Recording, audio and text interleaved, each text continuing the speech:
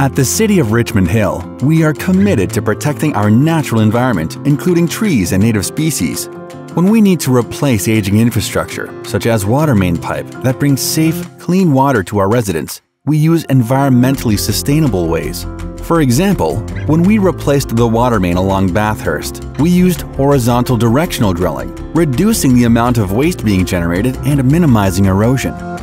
We put up fencing around trees in the area to protect them, extending their health and longevity. We installed biodegradable fencing to prevent sediment from running into the creek and installed catch basin filter cloth to prevent sediment from entering the stormwater system to protect the natural habitat of endangered species. These are just some of the many ways the city is using environmentally sustainable methods to deliver reliable services to the community.